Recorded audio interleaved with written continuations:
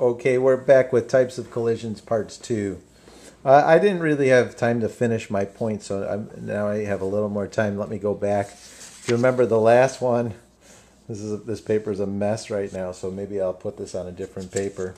If you remember the last one, our kinetic energy uh, should not have been conserved. So let me show you that it wasn't, okay? In fact, we can figure out how much thermal energy was created in this process. So um, I'm going to just find the kinetic energies before. So the kinetic energy before the collision, total, um, before is 1 half 5 kilograms times 2 meters per second squared plus 1 half times um, 4 kilograms times um, 1 meter per second squared. Hey, you might say, why am I not putting a negative here? But even if I did, this is really speed. But even if it were velocity, when you square it, it becomes positive. So um, this is going to give me, let's see, that's going to give me 10 joules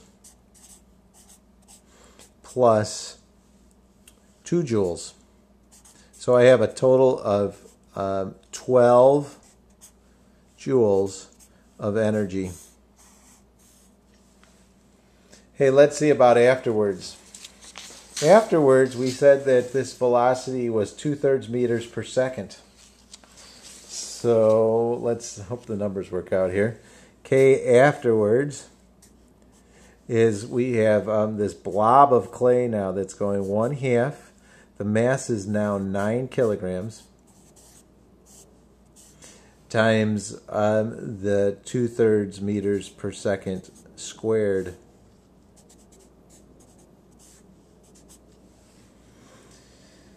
All right, so that's going to be um, 4 ninths. When I square that, that's 4 ninths. That will cancel out one of the, that 9, that 4 ninths, that 9 will cancel out that 9 and so I'm left with 4 times a half, so that's 2 joules. This is before. This is after. And um, you know how many, how much thermal energy was created in this collision? The thermal energy that was created in the collision is uh, 10 joules. Okay, so this is not an elastic collision. Let's take a look at an elastic collision between um, a cue ball and a another ball. Let's assume a cue, I know a cue ball might have a little more mass, but let's assume it doesn't. So here comes a cue ball. It's coming in like this. Uh, we'll just call it a mass m. And it's coming in with a speed of, uh, let's say, V. And it hits and strikes another ball that's a mass M that's at rest. So this, this one's at rest. Uh, let's call this M1 and M2, but they're the same mass. They have the same value. M1 and M2 are the same. So it's going to hit and strike that. And uh, if you've ever watched this on a pool table, if there's no spin or anything, what will happen I'm just telling you this now. I'm just going to tell you that uh, that M1 will stop, and and M2 will start going with the same speed V afterwards. So I'm going to call this V1 and V2. And that's M2. Okay, so that's going to stop. And so um, I just want to show you that in this in this type of a collision, this is a completely elastic collision.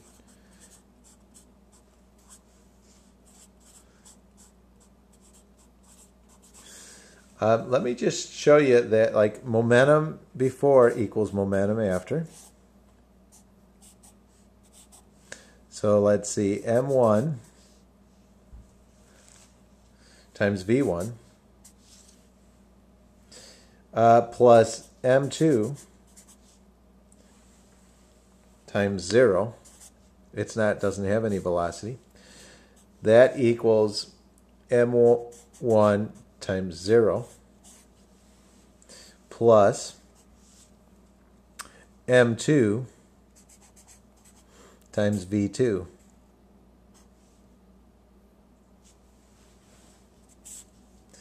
Now, if these have the same mass, the cue ball and the other ball have the same mass, let's we can cancel these out. And V1 is equal to V2. Yeah, that just happens on a, on a pool table. One will hit and the other one will go. You'll see this in the lab several times too, that we do. Let me show you that it is elastic in that um, K equals K, K prime.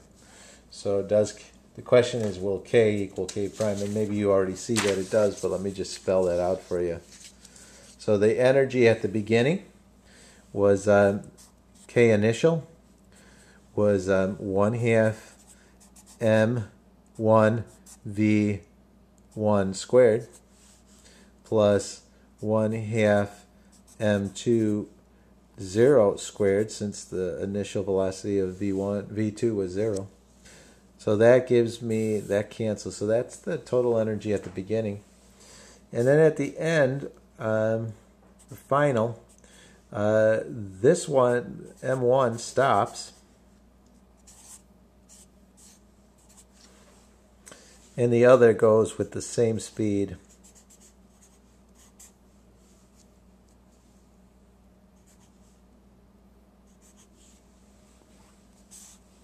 So indeed, if um, the V1 is V equal to V2, and if M1 equals M2, yeah, the kinetic energy is conserved.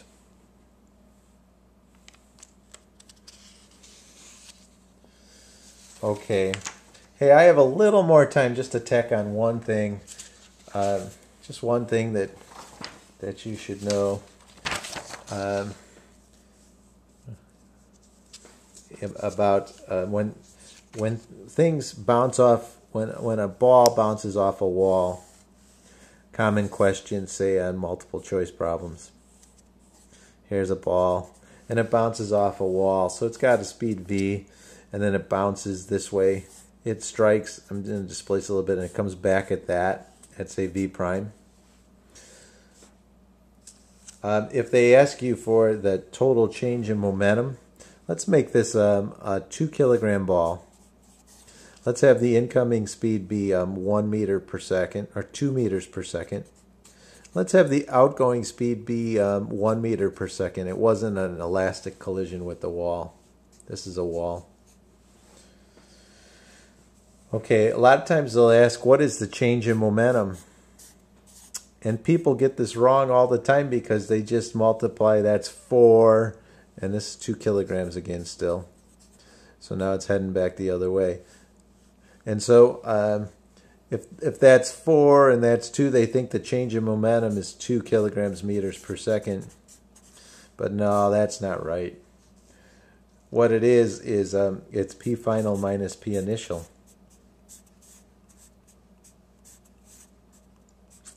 And one of these has to be negative. Let's call P final negative.